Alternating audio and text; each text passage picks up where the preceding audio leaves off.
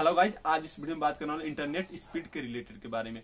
तो आप या फिर हम कभी भी अपने इंटरनेट की स्पीड से खुश नहीं होते तो ऐसा क्यों? आपके जो प्लान आपने लिए हैं तो आपके इंटरनेट सर्विस प्रोवाइडर ने जो आपको इन्फॉर्मेशन दी है, या फिर आपके जो आपने प्लान लिए उसके हिसाब से आपको डाउनलोड या फिर अपलोडिंग स्पीड नहीं मिलता। तो ऐसा क्यों? तो आज इस वीडियो में इसी बारे में बात करने वाला हूँ। तो चलिए दोस्तों, वीडियो को शुरू करके जान लेते हैं। अगर आप इस चैनल पर नए तो चैनल को सब्सक्राइब और वीडियो को लाइक करना मत भूलिए। चलिए वीडियो शुरू करके जान लेते हैं। तो दोस्तों, यहाँ पे समझने वाली बात है कि जब भी आप कोई इंटरनेट सर्विस प्रोवाइडर से आप कोई भी सर्विस लेते हो या फिर स्पीड जो आप मेज़रमेंट करके आप जो डाटा पैकेज लेते हो डाटा प्लान लेते हो तो वहाँ पे जो आपको स्पीड बताई जाती है, वो होता है एम बी पी एस छोटा वाला बी वहाँ पे मेज़रमेंट करता है तो वहाँ पे हो जाता है मेगा पर सेकेंड और जो आप नेट सर्व करते हो या फिर डाटा को अपलोड करते हो या फिर कुछ भी डाउनलोड करते हो तो वहाँ पे जब भी आप यूज़ करते हो विंडोज़ का या फिर क्रोम का या फिर कोई भी ब्राउज़र या फिर टोरेंट कुछ भी आप यूज़ करते हो तो वहाँ पे आपका स्पीड कम हो जाता है। तो वहाँ पे जो होता है क्या क्या होता है कि वहाँ पे जो स्पीड होता है, वहाँ पे एम बी पी एस होता है वहाँ पे बड़ा वाला बी होता है। तो यहाँ पे हो जाता है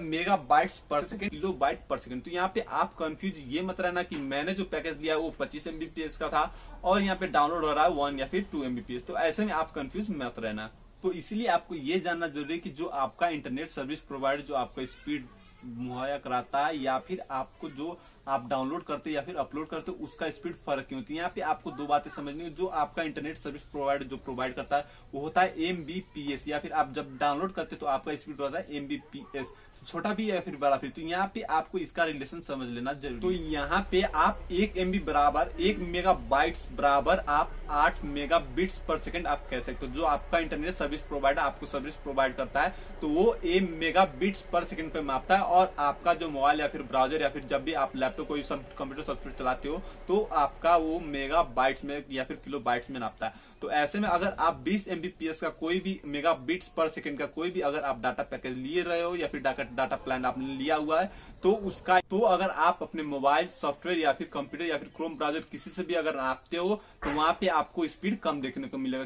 क्योंकि यहाँ पे एक megabyte equal to eight megabit per second होता है। जैसे में अगर आपने 20 एमबीपीएस का मेगा बिट पर सेकंड का आपने स्पीड लिया हुआ है तो यहाँ पे आपका स्पीड हो जाता है मोबाइल या फिर कंप्यूटर या फिर लैपटॉप ब्राउज़र में आप चेक करते हो तो वहाँ पे आपका 2.5 मेगा बाइट या फिर किलो बाइट पर सेकेंड का हो जाता है। तो ऐसे में ये ऐसा नहीं है कि अगर आपने बीस एमबीपीएस का पैकेज लिया हुआ है तो यहाँ पे अगर आपको मोबाइल में टू पॉइंट फाइव को दिखा रहा है तो ऐसे में इंटरनेट स्लो कनेक्शन हो रहा है। तो ऐसा बिल्कुल भी नहीं स्पीड उतना ही रहता है। बस नापने का तरीका अलग रहता है। तो ऐसे में आप कंफ्यूज ये मत रहना कि आपका स्पीड जो दिखा रहा है तो आपका स्पीड कम है। तो ऐसा बिल्कुल भी नहीं है। दोस्तों, ऐसे में आप कंफ्यूज मत रहिए कि आपका जो स्पीड दिखा रहा है, वो कम दिखा रहा है, और जो इंटरनेट सर्विस में आपने डाटा पैकेज प्लान लिया है, वो ज़्यादा लिया है, और यहाँ पे मोबाइल स्मार्टफ़ोन कम दिखा रहा है। तो ऐसा होता नहीं है, क्योंकि जो आपका इंटरनेट सर्विस प्रोवाइडर है, जो आपको सर्विस प्रोवाइड करता है, वो मेगा बिट्स पर सेकंड पे नापता है, और आपका मोबाइल स्मार्टफ़ोन या फिर लैपटॉप कंप्यूटर जो है, वो आपका मेगा बाइट्स पर सेकंड पे नापता है,